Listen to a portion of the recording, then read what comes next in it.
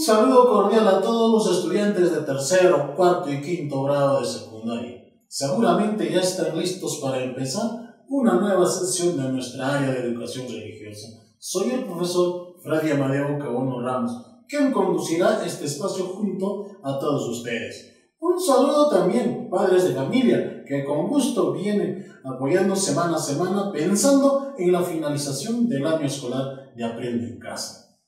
Mucho ánimo y mucho punche para terminar bien el año escolar. Ustedes, si pueden, adelante. Ahora un sobre el rebrote de esta pandemia. Evitemos el contagio. Depende de nosotros. A cumplir los protocolos de bioseguridad sanitaria y todos estaremos bien hasta el final de esta enfermedad. Recuerda que debes tener a tu alcance tus útiles de, para desarrollar esta sesión y que nada te interrumpa. No olvides lo más importante, tu Biblia. Jóvenes señoritas, es momento de dialogar con Dios para que todo nos vaya bien. Pide por tus precauciones, tus miedos, tus buenas intenciones de cambio de actitud para ser mejores cada día. Haz tu oración personal en silencio mientras escuchas el fondo musical. Oremos a Dios.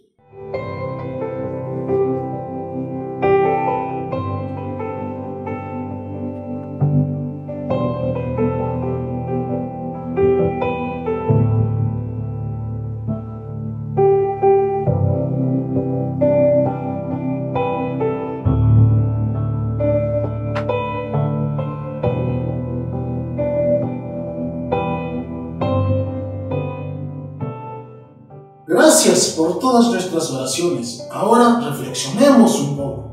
¿Cómo estarás tu fe a Dios? ¿Tendrás esperanza en Dios? ¿Cómo estás viviendo el amor a Dios? Muy bien, ya sabes cómo estás según tus respuestas personales hechas en silencio. El tema para el día de hoy es, vivamos las virtudes teologales, fe, esperanza y caridad. El propósito de esta sesión es comprender y asumir las virtudes teologales, asumir la fe como un regalo de Dios para creer en Él y anhelar esta en comunión. Asumir la esperanza para buscar siempre nuestra salvación confiando en las promesas de Dios. Y asumir la caridad para ponerla en práctica con Dios y con el prójimo. Para ello vamos a crear y escribir un eslogan, un lema y un acróstico acompañado de un dibujo. De esta manera, cumpliendo nuestro reto, podremos atesorar la vivencia de las virtudes teologales en familia y en comunidad. A continuación te explicaré este tema. Dios por medio del bautismo pone en el alma virtudes para vivir como hijos suyos estas virtudes te ayudarán a que nuestras habilidades, destrezas que también nos han dado nuestro Señor, las podamos desplegar de la mejor manera. Para ser mejores personas, para ser buenos ciudadanos. Las virtudes son dones que Dios nos da y estas pueden ser teologales y morales. Las virtudes teologales tienen como objeto a Dios, son tres, la fe, esperanza y caridad. Las virtudes morales tienen como objeto los actos humanos. Se les llaman también virtudes humanas o cardinales. Son cuatro. Prudencia, justicia, fortaleza y templanza. Las personas cristianas cuentan con dos dones del Espíritu Santo que facilitan el ejercicio más perfecto de las virtudes. Estos dones pueden ser gozo, mansedumbre, paz, bondad y otros. En esta oportunidad reflexionaremos sobre las virtudes teologales. A continuación veremos un video sobre estas virtudes.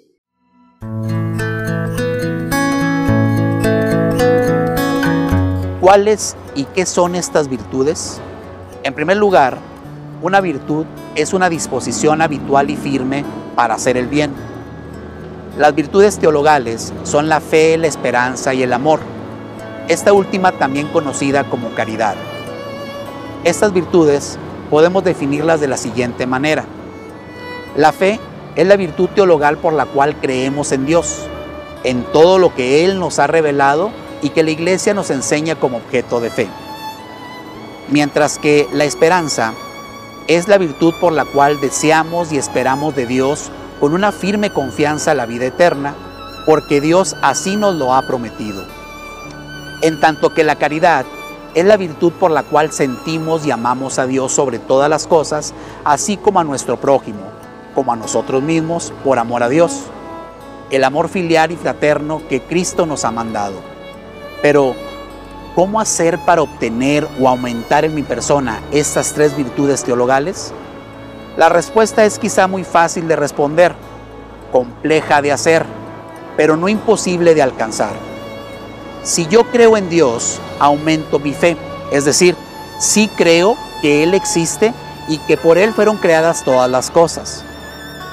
Pero muy distinto es si yo le creo a Dios lo que me dice en su palabra. Si le creo, entonces crece en mí la esperanza de alcanzar la vida eterna. Por otro lado, si yo creo en Dios y le creo a Dios con la misma intensidad, entonces comenzaré a sentir a Dios, alcanzando así la caridad, es decir, el amor. Y podré experimentar lo que Pablo nos dice en Gálatas 2.20. Ya no vivo yo, pues es Cristo quien vive en mí. Y todo en mí reflejará amor, pues será Cristo mismo quien realice las cosas a través de mi persona. A esto agrega el apóstol Pablo en 1 Corintios 13:13. Pero de las tres, la caridad es la más excelente de todas. Y claro está, puesto que en la caridad se manifiesta la presencia misma del Señor, es decir, el amor.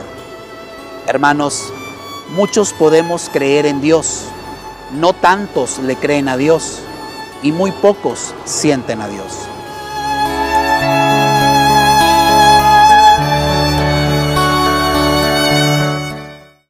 Recordemos la fe. ¿Qué es la fe? La fe es la virtud teologal por la cual creemos en Dios, en todo lo que Él nos ha revelado y que la Santa Iglesia Católica nos enseña como objeto de fe. ¿Cómo puede ser que Jesús es Dios y hombre? que los sacramentos los instituyó Jesús. La fe nos lleva a un encuentro con Dios y nos encamina a nuestra salvación. Toda persona por la fe responde libremente a ese encuentro con Dios entregándose a Él, con su inteligencia y su voluntad. La fe la manifestamos en nuestras acciones, en nuestra forma de pensar y sentir. Eso dará a conocer que somos fieles a Dios que somos testigos suyos en medio de nuestras familias y nuestra comunidad. Por ejemplo, le digo a un amigo que ore a Dios, que Él lo va a ayudar, como lo ha hecho conmigo. La esperanza. ¿Qué es la esperanza? La esperanza es la virtud teologal por la cual esperamos que se realicen las promesas de Dios. Esperamos confiados en llegar a la vida eterna y en tener las gracias para merecerlas. Porque Dios lo ha prometido. Somos sus hijos suyos y debemos reconocer que Él es fiel a sus promesas. La esperanza pone en nuestro corazón el deseo del cielo y de vivir junto a Dios, deshaciéndonos de los bienes terrenales. Nos da el ánimo y la constancia en la lucha, asegurándonos el triunfo. Nos da la fuerza a nuestro apostolado, porque nos da esa firmeza para superar las adversidades y buscar que todos lleguen a Dios. Ejemplo, tengo esperanzas que estos momentos difíciles me ha tocado pasar y tú, mi Dios, me sostendrás para superarlas. La caridad. ¿Qué es la caridad? La caridad es la virtud teologal por la cual amamos a Dios sobre todas las cosas y a nuestro prójimo como nosotros mismos. Este amor nos ha sido dado por el mismo Dios y se nos ha mostrado en la vida de nuestro Señor Jesucristo. Él nos enseña a ser hijos de Dios. Por eso, nuestra vida debemos manifestar este gran amor que se nos ha dado para ser cristianos auténticos. Por ejemplo, Por amor a Dios perdonaré a mi vecino que ha hablado mal de mí y le daré mi apoyo cuando lo necesite. Por la fe tenemos el conocimiento de Dios. Por la esperanza confiamos el cumplimiento de las promesas de Cristo. Y por la caridad obramos de acuerdo a las enseñanzas del Evangelio. La fe y la esperanza no tienen ningún sentido si no desembocan en el amor sobrenatural o caridad cristiana. Hay que tener en cuenta que el amor a Dios y el amor al prójimo son una misma y sola cosa, de modo que uno depende del otro. Por eso, tanto podremos amar al prójimo cuando amemos a Dios y a la vez tanto amaremos a Dios cuando, ¿verdad?, amemos al prójimo. Para fortalecer este aprendizaje, escuchemos este mix de canciones. Que viva Cristo, que viva, que viva Cristo, que viva, que viva Cristo, que viva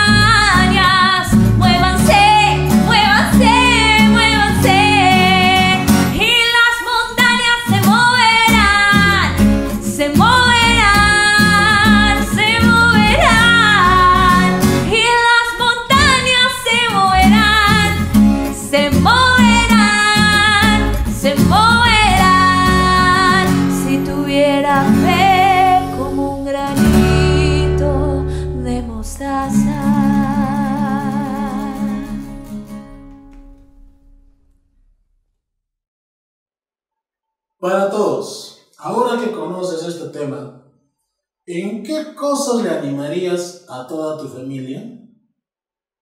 Muy bien, joven estudiante. Ha llegado el momento de hacer tus actividades con las virtudes teologales. Atento, estudiante del tercer grado de secundaria. Elabora un eslogan con cada una de las virtudes teologales.